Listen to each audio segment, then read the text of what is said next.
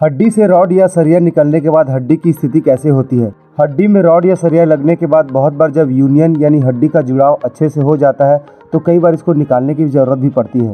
ये एक आर्मी का जेंटलमैन है, जिसमें हड्डी को जोड़ने के लिए रॉड का यूज़ किया गया था। लेकिन कुछ कारणों से इस जेंटलमैन ने जब अपना रॉड निकलवाया या इम्प्लांट रिमूवल कराया तो इसकी हड्डी कुछ इस प्रकार दिखने लगी। दोस्तों, ये रॉड निकलने के बाद की हड्डी, इसमें आप स्पष्ट रूप से देख पा रहे हैं, बहुत सारे आपको कैलस दिखाई पड़ रहे हैं।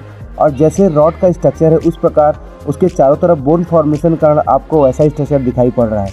कहीं पर भी आपको बोन की डिसकंटिन्यूटी नज़र नहीं आ रही है। इसका मतलब ये है कि यहाँ पे प्रॉपर ब्रिजिंग कैलस बन गया है और हड्डी कॉन्सोलिडेट हो गई है। एक बार जब हड्डी कॉन्सोलिडेट हो जाती है तो इस पर वेट वेयर करना और अपने सारे फ्रैक्चर के पूर्व जो एक्टिविटी होती है, उन सब एक्टिविटी को कर पाना बहुत ही आसान हो जाता है। जिस पर्पज़ से इस रॉड को हड्डी में लगाया गया था रॉड ने अपना हंड्रेड परसेंट पर्पज़ पूरा किया है। thank you very much.